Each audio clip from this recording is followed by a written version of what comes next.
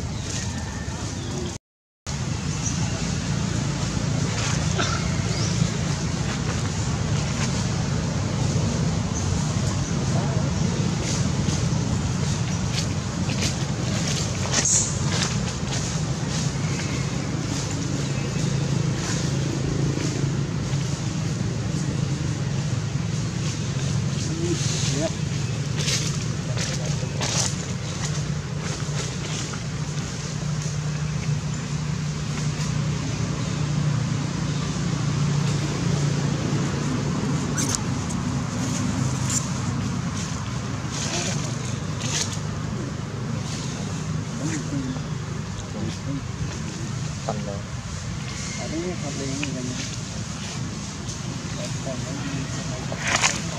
ừ.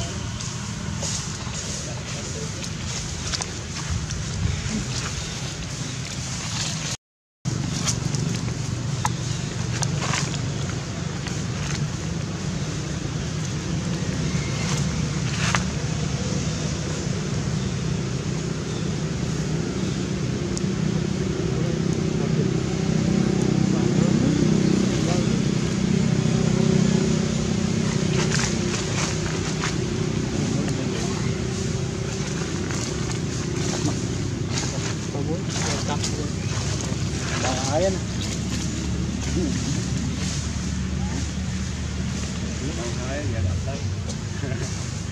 chẹ đã chẹ hơn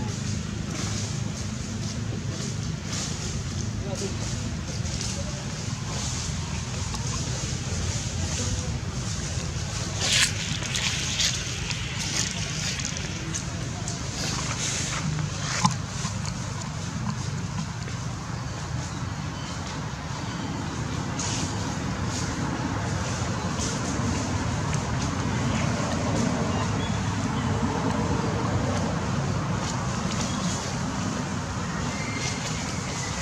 Então, é Thank you.